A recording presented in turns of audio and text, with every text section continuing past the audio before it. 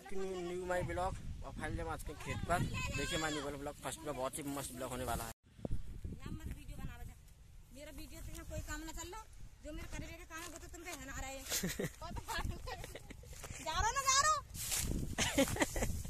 जो वीडियो बनावा था इन्होंने वीडियो बनाई है पापा समझ से डायरेक्ट करो अब बज गए थे दोपहर के तीन।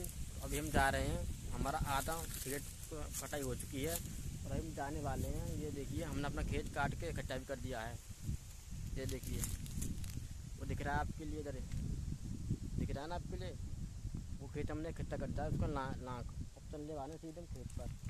देखिए, वो देखिए खेत। चल रहे हैं बस।